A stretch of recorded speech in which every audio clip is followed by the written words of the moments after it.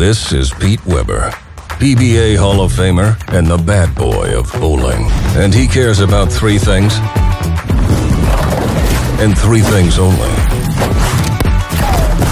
Drilling pins, looking fly, and never backing down. Who do you think you are? I am. That's why he wears Mugsy jeans. The only jeans comfortable enough to handle moves like this. Because like Pete, Mugsy takes pride in dominating everything they do. To knock them down.